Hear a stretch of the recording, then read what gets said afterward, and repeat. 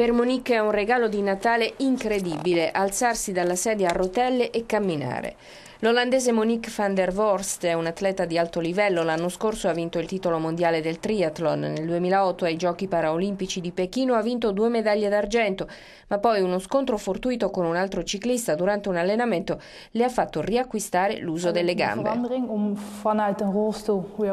È indescrivibile quello che significa stare in piedi di nuovo dopo aver passato tanti anni su una sedia a rotelle. All'improvviso il mondo assume un'altra prospettiva. Tutto sta molto più in basso ed io mi sento molto più alta. È bello camminare in mezzo alla folla e poter guardare tutti negli occhi, è una sensazione incredibile.